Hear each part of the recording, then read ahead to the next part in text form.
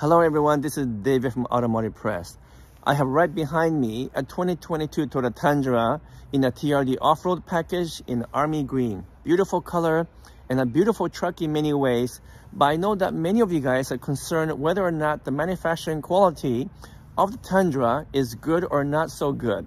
Lots of questions about the body fit and finish, about its powertrain, about the interior, and many of those will be covered in the next several weeks. But for now and for today, what I want to do is a proper engineer's audit to inspect the exterior panels, to check for body gaps alignment and tolerances, and also do a full audit on the paint and check the paint thickness. So let me tell you through an automotive engineer's eye whether I think this Tundra is truly well built and whether or not it meets world-class manufacturing standard for exterior quality. So let me walk you through that right now.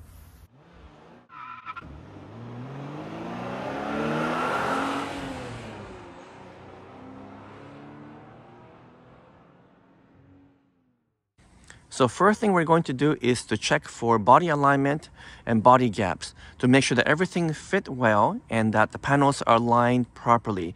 I used to be a body engineer for many years for a number of car companies, so this is what I used to do for a living. Now, I don't have all of the right instrument right now, but uh, I do have some of these tools to check for alignment. And so I have been going around checking for the uh, body uh, gaps in terms of the uh, panel fit. And for the most part, it's acceptable. So it's about five and a half millimeter here, uh, maybe about uh, 5.6 millimeter here and a little bit wider near the front, almost 6 millimeter here. Now this is a truck, so I don't expect these gaps to be as well aligned as something, let's say in the high-end Lexus models, uh, and especially compared to something out of Japan like um, the RAV4 Prime that we have, the gap is a little bit wider for sure. But the most important question is whether or not the panels are aligned well and does the gap stay consistent from the front to back. And in terms of the body gap alignment, it's actually better than expected. There were some Tundras I saw earlier in the inventory that were not too good, but lately all of the Tundras I have been expecting were really well made. The gaps are definitely a little bit wider than what I like to see, uh, but if you put your finger here, and sometimes I use a ping pong ball back and forth, then you can actually see in terms of the levelness of the panels are almost perfect. It's a little bit um, misaligned here, just a tiny bit, but definitely within the acceptance level.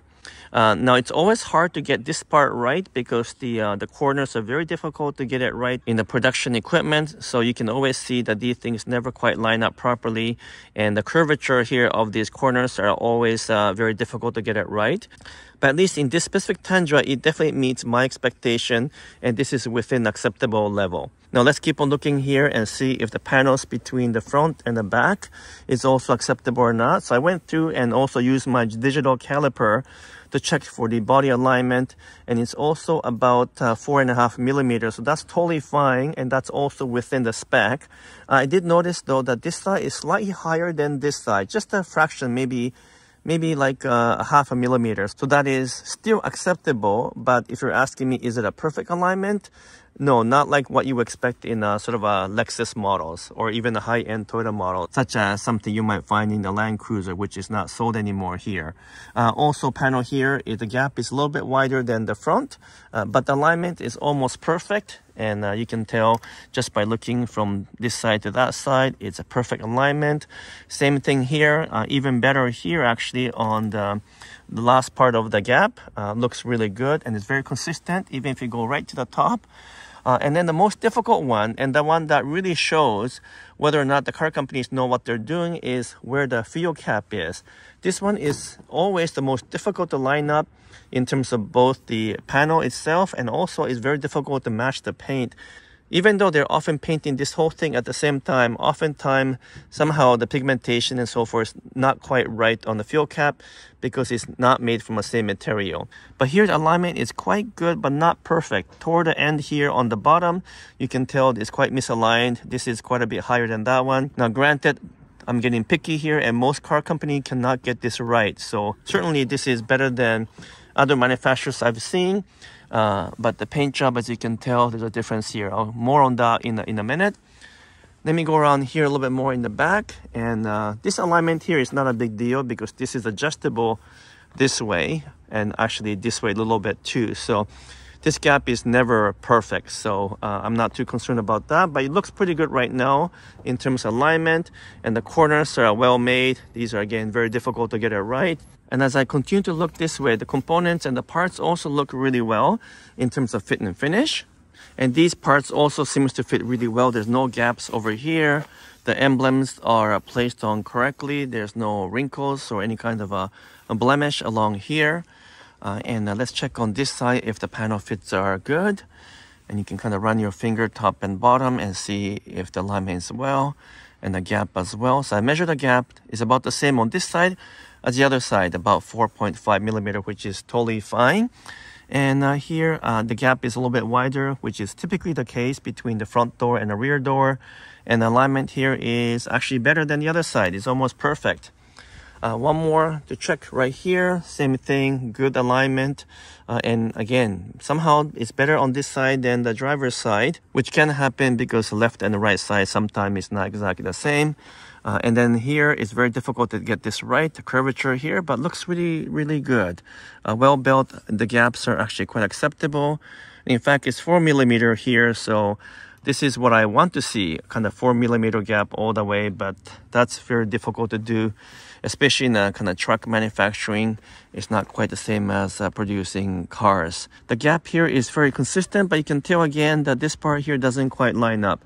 It's just uh, very difficult to get that right.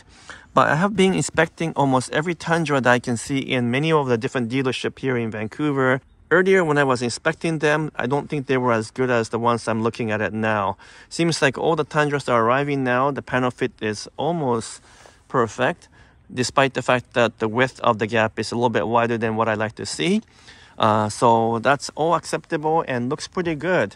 Now, what about the paint job? Let's do a paint thickness check and also do a gloss check and to make sure that the paint quality is world class. Okay, so let's do a paint check now. And what we do is we use a paint thickness gauge to measure the thickness of the paint, which will give us some indication of the quality of the total paint work. So if it's too thick or too thin, that's not a good thing. You want the paint thickness to be between 100 to 180 micron. If it's less than 100, something is wrong with the manufacturing. If it's more than 180 or let's say more than 200, then something was repainted on top of it because the paint is too thick. So it should be about uh, 120 to 150. So it's 117 here, so that's right on the mark. Now let's check one more place on the hood. 107, so that's still acceptable. By the way, it does say NF or non-ferrous, so this is aluminum panel. What about the side here? 132, so it's a little bit thicker than the hood area. And the door, 111, which is also aluminum. You can tell by looking at the uh, indicator here. 115, so all pretty consistent. Most Toyota cars are usually between 110 and 130, so this is pretty consistent. 119. So it's exactly what I expect. I don't see any unusual paint thickness problem uh, on any of the Tundra's panels. I'll just double check on this side to make sure everything looks okay. 110, so that's almost exactly what I expect um, Toyota cars to have, 113. So it's very consistent and some car companies cannot get it consistent 114. Well, you cannot get better than this. It's almost exactly between 110 to 120 all the way around. So paint thickness is very consistent, applied professionally and properly. Now, what about the actual quality of the paint itself? Well, let me walk around and show you uh, in terms of the gloss or the uh, consistency of the paint. I can see by looking at it from different angle that first of all, on this particular Tundra, the paint job is better than 2021's and earlier Tundras. I think the earlier Tundra suffered from a bit of excessive orange peel and I found the gloss of the paint to be acceptable but not great. But uh, all of the 2022 Tundras I've seen, even the components and parts, uh, um, are excellent. The paint is very, very glossy, very smooth. The surface doesn't have any kind of imperfections. No excessive orange peel. There's a little bit here, but not too much uh, and the pigmentation looks really good. And so I've noticed that uh, the paint job is definitely a huge improvement over 2021. I mean, this is as good as what you'll find in a more of a high-end uh, cars and SUVs like something like a Land Cruiser or even the Lexus LX. Well, perhaps maybe not quite as good as Lexus LX, but it's getting up there. And you can see it's pretty glossy all the way. So paint job is excellent. Uh, there's always a little bit more orange peel over here on top. Um, just because of the way that uh, machine works because it sprays paint from a top and applies this way back and forth using a specialized equipment um, but the smoothness of the paint is excellent the thickness is all good. So I think this is perhaps one of the strengths of the Tundra in terms of the quality of the manufacturing. The paint job is first class, better than many other trucks I've seen. The body fit and finish and alignment of the panels are also very good. And not as good as, um, you know, sort of a high-end luxury cars, but better than most trucks, better than many of the North American trucks produced by Ford or um, Ram uh, or even General Motors. Although General Motors these days have gotten really good with the body panels and the paint job. So overall, I'm pretty happy and satisfied that the exterior quality of the Tundra meets my expectation and it's uh, one of the best that I've seen so far. Is it a world-class standard?